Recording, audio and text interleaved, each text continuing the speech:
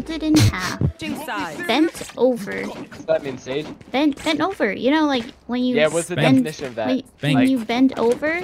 Not. Yeah. Yeah. Sure. Spank. I Like a SWAT, you know, like punishment.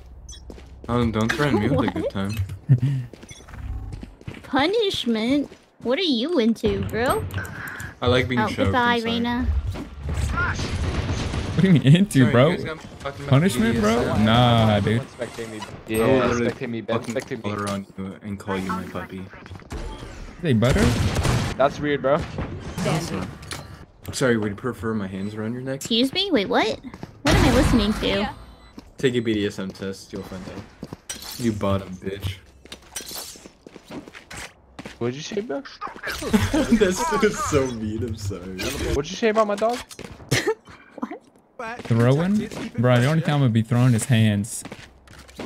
I'll throwing you on the bed. Uh, uh, Hey, Hey yo.